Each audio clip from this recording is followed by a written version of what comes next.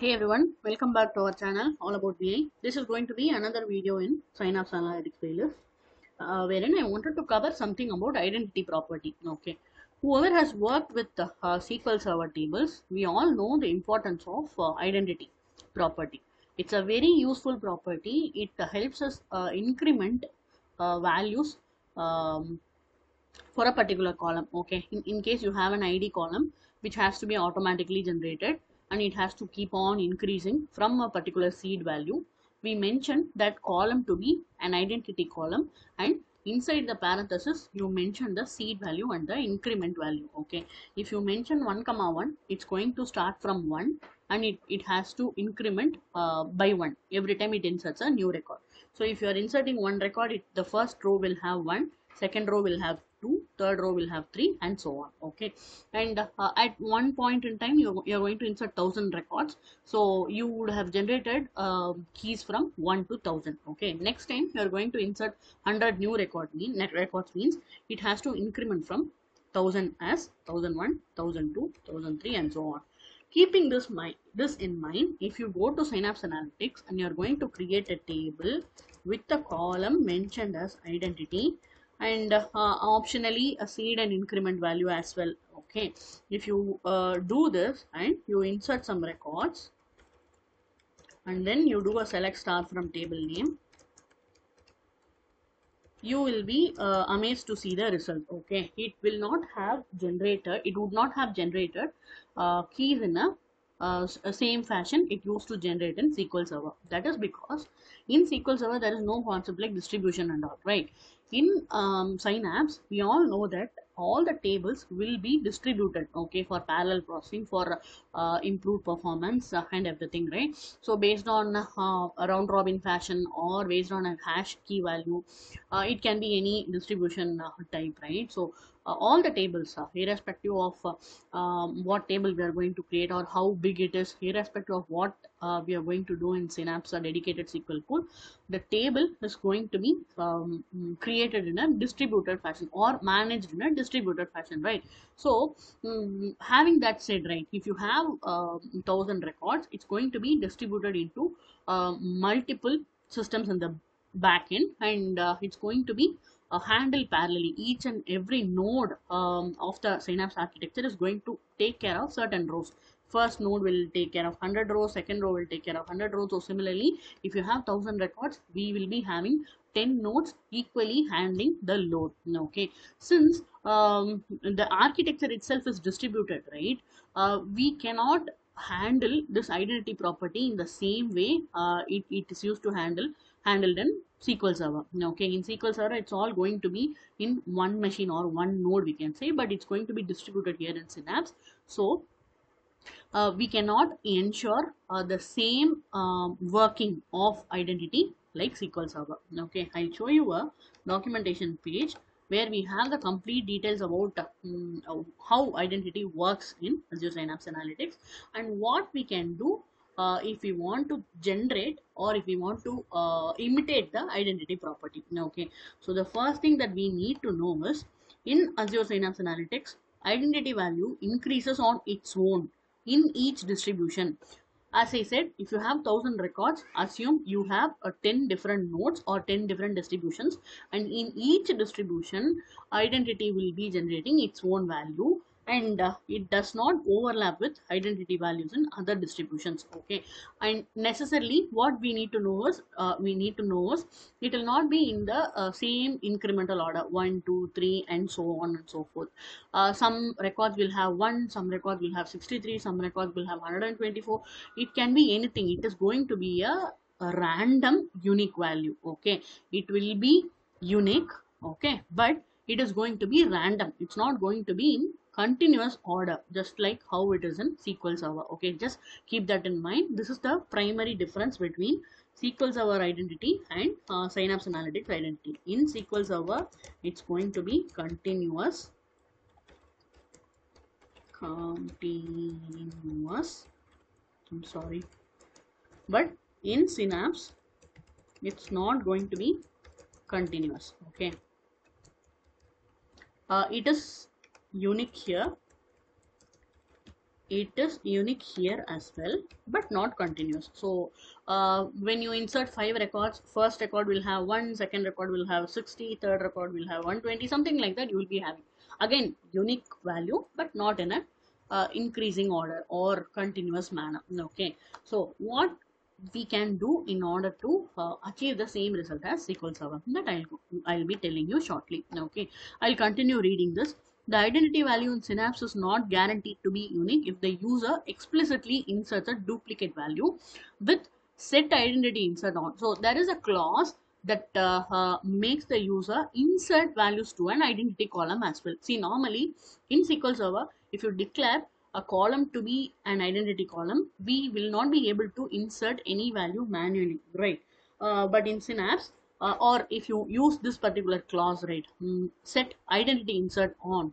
This clause will let the user insert values manually okay? I can provide a value to the identity column uh, however i want okay? If you do this and uh, already there is a key called uh, 10 in the table and i have set identity insert on and i'm inserting 10 again it's going to be taking it up okay? It doesn't guarantee uniqueness in case uh, identity insert is on. So it is we who have to take care of the uniqueness of the column in synapse okay? Mm, that is one um, prime thing that we need to keep in mind. Also in synapse there is no concept called foreign key primary key relationship okay? That we'll touch upon in the next video.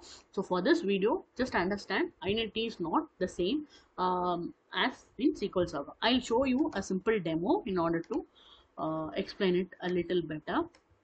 I'm going to create a table now. I'll say T3 and we have two columns C1 and C2 first column is going to be an integer column and uh, it, it should be an identity column as well and it is a not null column okay? C2 is simply an integer column and it can accept null okay? Uh, the, the distribution if you see right uh, based on what um, criteria it's going the data is going to be distributed it's going to be computing hash value of c2 and it's going to be distributing the values okay so i'm just creating this table now I cannot run this in my built-in uh, um, server. Okay, I need to be connecting to my dedicated SQL pool. Uh, we we uh, have to make sure we are running the query in the proper um, server or proper connection. So it's going to be throwing error now. Let it throw okay so I have chosen dedicated now and running it again. Let the table be created. I just copy some insert uh, command from here.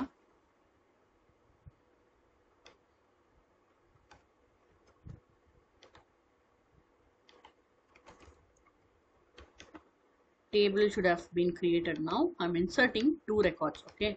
Uh, the table name is t3 and uh, I'm going to just insert some random value to the second column. I'll insert 10 i'll insert uh, 25 okay i'm just going to run this insert script now.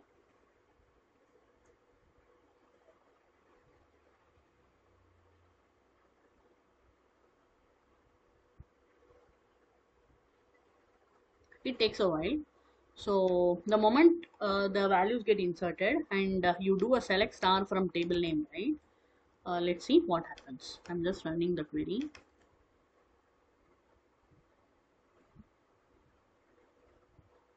So we will be expected to see something uh, like uh, the first row will have one second row will have two because the seed starts from one and it should be incremented by one. But see here I have uh, selected the columns. The first row is having uh, value 1 second row is having value 6 so uh, this is the problem with identity in Synapse. Okay, you cannot blindly use identity in the same way we used it in SQL Server. No, okay. So what else can we do? We can do one workaround. Okay, um, though I have not done it in real time, but that is the workaround uh, being suggested. Okay, so what I'll be doing is I'll create one more table now, or uh, okay, I'll create one more table the same way. I'll say T4 and t3 is going to be my source now okay? This this table is going to be my source and this table is going to be my destination. And i'm not making it identity. I'll simply keep it like this okay? I'll create a table. And in order for me to uh, in, increase the records one by one to the column C1 what I'm going to do I'm going to declare a variable okay? Max uh, C1 of type integer okay I'm declaring a variable and and I am assigning I'm going to take the maximum of C1 column from my table T4. T4 is my table. Okay. C1 is my integer column that needs to be auto incremented. I'm just taking the maximum value um, when I start uh, doing something with that table. So before going to insert something to the table, I'm taking the maximum value now. If the max, if there is no record, we will be getting null value for that particular column uh, for the max function. So I'm just taking it as zero. Okay. So right now I have the maximum C1 value in hand from T4, and then I'm going to insert into T4 C1 comma C2 values select C1 uh, I, I'm, my source is going to be uh, T3 right? So from T3 I'm going to take my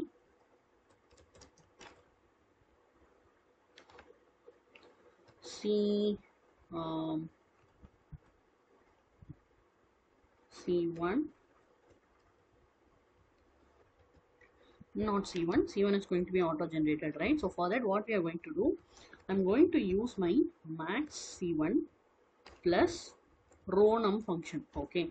This is the function that I'm going to use row number over some other column from uh, my source table okay? Over uh, which column that we can decide if you have multiple columns uh, what we are going to do we are going to just choose one particular column we are going to do an order by there and we are going to uh, do um, I mean row number over the ordered by column. So I'll say T3 dot C2. Okay. Order by T3 dot C2. Ascending order or descending order, whatever format we want to do, I can do this. So what I'm doing, insert into the table name, select max C1. This max C1 is going to be bringing uh, um, the maximum value in the first run and for every record being inserted right row number will be incremented or row number will be added to the maximum number okay i'll show you after uh, executing you will understand okay so the syntax is uh, select max c1 plus row number over order by t3 column okay then this is for first column for second column I'm going to just take um, the value from the T3 table as such. Okay, I'm just uh, running all these together.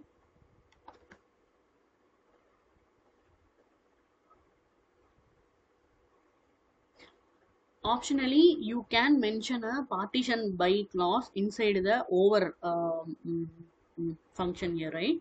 So there is no C3 column. I have to mention C2.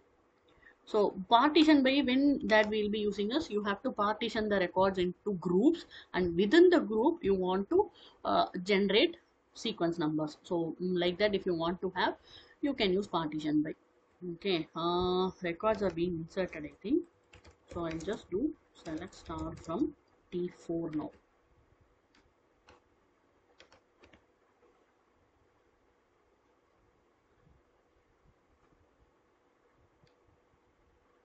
we didn't mention identity clause uh, identity property for any uh, particular uh, column in T4 but still we are able to achieve the result. 1 2 so I'm going to run it again.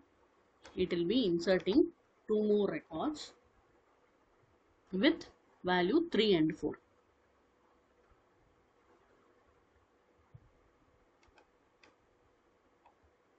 so just to make use of this uh, um, work around or alternate when you're uh, uh, going to do something like this in Synapse. Okay, this is just a FYI uh, mm, session. so most of us uh, would be in need to use identity from identity property so just wanted to share with you whatever i came across okay if you have any experience using it in your uh, project or uh, if you have any better alternates uh, i request you to post it in the comment section. That's all with me for this session. Next session i'll be taking you through the primary key and foreign key stuff in synapse how uh, it is handled in synapse or why it's not supported and all. I'll be taking it in the next session okay. Thanks a lot for watching. Um, keep supporting. If you haven't subscribed i request you to subscribe. Thank you so much